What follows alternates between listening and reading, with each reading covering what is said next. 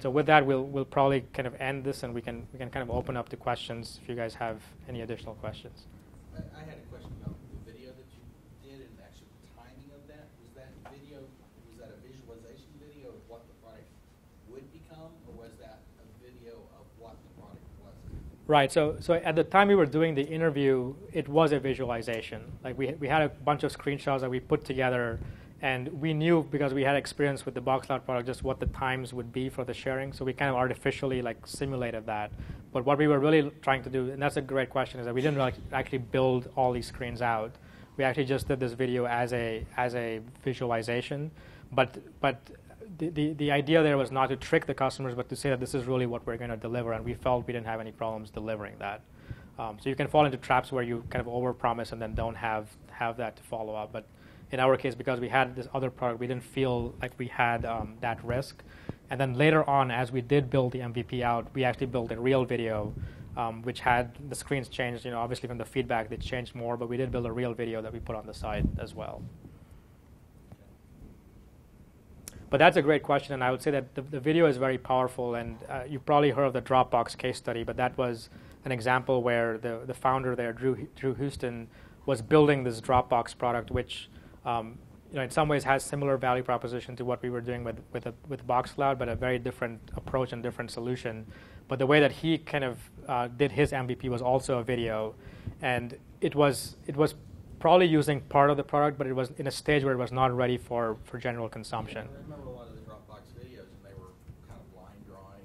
Yeah. You see a lot of this even with the Google videos where they're, they're kind of like. Oh, but I, but I'm talking about but I'm, but, but his his original video was actually a, was actually a video of using the product, but but I don't think it was a complete like a, it was at that point the product wasn't completely done. And so where I was going with that is that that video went viral. He had built a lot of like smart Easter eggs, and the, the video went viral. He had 75,000 to 100,000 people that expressed interest in the product just based on that video. And he, he, he floated it in Hacker News, and it kind of really went viral after that. He used that to like recruit his, his co-founder, basically get funding from Y Combinator just on the basis of that interest he was able to generate around the video. And in his application, it's, it's still there. You can go and find it he actually estimated that the time it would take him to build the product and, and ship it out would be three months. It took them a year and a half to actually build the product and, and ship it out. And that's again where, like, if, if he had waited to build that video after he had built the product, it probably been too long. And finding ways to put something out that customers can visualize, even if it's even it's like cobbling things together or like faking it, but as long as you, you feel you can deliver on that experience down the road, that's perfectly perfectly fine. Well, I was also thinking about even in the interviews that you're having with people, depending on, you know, the interviewer, you might present questions or present the information a slightly different way. So you're going to be getting different responses about having kind of like a visualization, especially if you're talking about something they haven't seen before, Mm-hmm. whether that's a useful tool. So I, I missed that part. So you're saying if you're showing them a visualization? Yeah, it- when you're carrying on the interviews, you do a have a video that would be a visualization of the product, especially if it's something that's unlike something Yes. you've encountered before. Yes. And whether that could improve the quality of the interviews versus just having somebody describe it. Some days are going to describe it better. than- Oh, absolutely. I mean, so and I, and I think that if you describe it, it's it's very hard for customers to visualize what you're talking about. In your mind, you might see this this crystal clear solution and, and how it's going to work, but for them, I mean, they, they come from that problem domain and they may not really quite see the same thing you're seeing. Um, and so it's it's it's very important to like kind of bring that down to something something tangible that they can look at and, and critique and give you feedback on.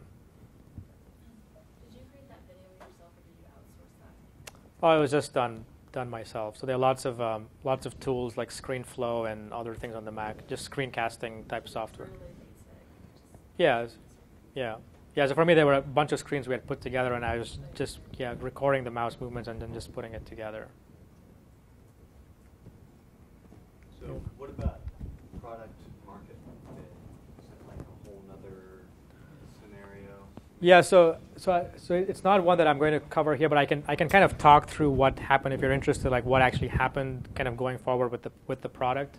Um, so I, I will kind of say that what we talked about here was the problem solution fit. So with this particular product, what what happened is we we we went out um, and with the moms, for example, we were able to to get a, uh, there was a, there was pretty good conversion. We were able to get the interviewer the interviewees that we talked to to sign up for the product to actually pay us money to actually give us good testimonials that went on the website. The struggles that we we ran into after afterwards was really finding scalable ways to to find more moms that weren't people we were interviewing. So it became a problem that um, that is it, it, it, was it was something that, that people weren't actively looking for because they didn't quite know that something existed that was better than their alternative. So they were rather finding workarounds to the large file sharing problem than really tackling it on, on head on. The other thing that we actually discovered, which is something I share with a lot of people when I talk about saving time, is that the parents market was a very interesting market to, to learn with. And we were able to build this product, which, like I said, we, found, we had parents paying for it and loving it at the end but even early on, like setting up those interviews was very, very difficult because um, as we would we would set up an interview with a mom, we would set up this time in the afternoon, and depending on whether the baby went to sleep or not, the interviews got pushed out or got canceled. Um, so, so the whole thing that we is that we were trying to market a product to to to moms that were inherently very busy. Um, made that a problem to also get their attention down the road. And I think parents in general, once you have the kids, the fact is you are very busy and so in parallel, we were, we were pursuing the, the um, photographer market, and we, we latched onto the wedding photographer market, and there we had much better kind of uh, traction because we had these photographers who were really motivated to use something like this to, to simplify their sharing workflow and were willing to pay for it. So after a while, we were, we were pursuing both of these in, in parallel. We didn't, we didn't discontinue the mom market, but we had two versions of the site. One was a consumer-oriented site, the other was a pro site. And on the pro side, we were getting a lot more interest, a lot more more traction.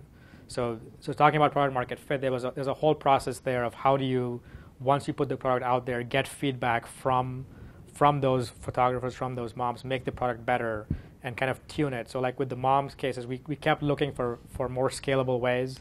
We we started talking to mommy bloggers and got some traction there, but it was just a much easier path for us to go down that wedding photographer market um, for for a while said you sold this product, so where is it today? Like, what happened? um, well, actually, if, if you want, like, I, I don't want to keep people beyond the, the five o'clock. So if people want to leave, you know, feel free to leave. I'm happy to like continue on the, the story because I do have like one or two slides and I can talk about what happened with the product. But if you feel to leave, you know, don't uh, just feel free to get up and leave if you have to. But I will say that so with this particular product, what what happened? So I, I talk about uh, I, I, talk about this a lot lately with with um, with with what I write about and, and my lessons learned from this. So this last company was built around a, a technology vision, and that first product didn't quite work out. And what I did instead was take that solution and look for viable problems to go solve. And while that is not a bad place to be. So there, you know, it gives you an advantage, but it does constrain your business model. And I find a lot of technology commercialization problems, projects to be in that same space where there's this great technology, but it's a hard thing to find because there's there's a lot of love, there's a lot of passion for the, the for the solution, and sometimes you end up with places where you don't necessarily intend it to go. So even though I was more than happy to, to like find a viable business and was interested more from an uh, almost academic sense to see if customer development lean startup would help me find a viable business model for CloudFire, I, I was not particularly um, motivated to like build a service for moms long term. Like I didn't want to be the outside the building guy and try to build that community. So I had two options. One was either find somebody to come in there and um, and help me build that community. With the wedding photographers, I was I'm not that into photography to begin with. It was really something that I kind of um, saw as a viable way of, of solving solving these problems. So again, the, the, the, channels I had to build required me going to photo events, like immersing myself in that world, which I didn't particularly want to do, more more from interests of mine. So I, I had two choices again: get somebody else on the team to do it, or find something else. And so at that point, um, I had started doing a lot of this lean startup stuff and was spending a disproportionate amount of time writing and like doing the lean canvas in parallel and it seemed to me like the dots were beginning to connect like i felt like i could actually build a business around around that so that was a hard reset that i had to hit uh, and so talking about that journey of the entrepreneur i was talking about the earlier stage was building stuff because it was fun and cool to build. The, the second stage was survival trying to build viable businesses and that's what CloudFire and boxcloud were really about. And the final stage for me was really finding that purpose. And I, for me that has to be finding passion with not just the solution, but more importantly, the problems and the customers that you're addressing.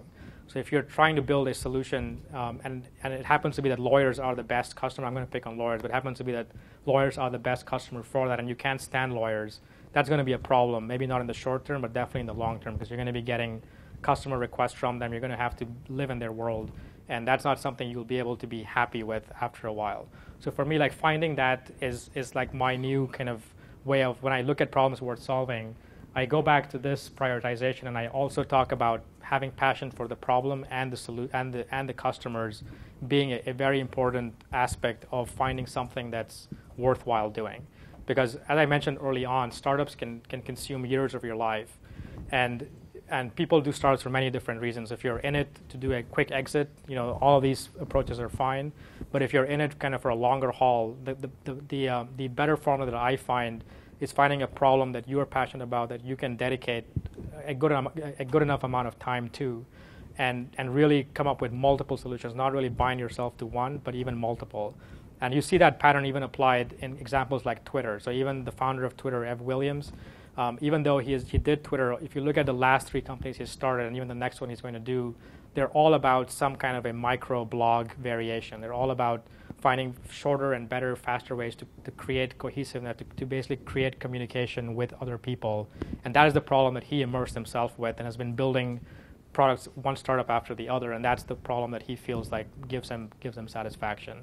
So for me, with all the lean startup stuff, I, I tend to find that the customers I really want to service are the entrepreneurs like you folks in the room, and and that's where I had the most most passion, the most enjoyment. So I figured a, a way to connect the dots and and build a business around that.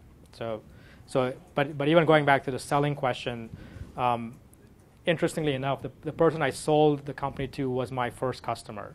So th- that that company was bootstrapped, and the way it got bootstrapped is I was building the technology solution, and I got a random call from another entrepreneur in Norway who was looking for a similar type of platform, couldn't find any. And I told, almost turned him down, said, you know, our solution isn't built yet, it's about 60% done. And he said, well, don't hang up the phone, I'll, I'll happily pay for you to finish that. And I, have got funding, I'll, I'll kind of subsidize your payment. In exchange, can you build this custom app for us and can you give us a, a better deal? And so that started the conversation, and that's how the, how, how the company got bootstrapped and how we ran for a long time building the, the technology platform and then experimenting with products like Box Cloud and CloudFire, making them, well, Box Cloud became sustainable. CloudFire reached this point where I kind of decided I was going to hit the reset button. And so I went back to him because all along the way, he had been asking to actually purchase the assets or own the assets because a lot of his investors felt uncomfortable banking their future on some startup in, in Austin. And even though we had escrows and things like that, he was more it was, a, it was a very easy conversation. So I went back to him and said, I'm finally ready to kind of get out of this business. Um, and you can take all this, these products, all this learning, and go do something else with it. And within two weeks, we had a deal, and the company was sold. And they are now taking the technology platform, and they're building. The new company is called Channel.pro, CHNL.pro, and they're using a lot of these technologies to to build similar type of services, but with a kind of slightly different twist, which you can go check out on their site. It's not completely launched yet, but they are um, they're kind of put, taking carrying the torch forward from here. So, anyways, thanks a lot for coming, and I'll stick around for a little bit if you have any any more questions. But thanks everyone for coming.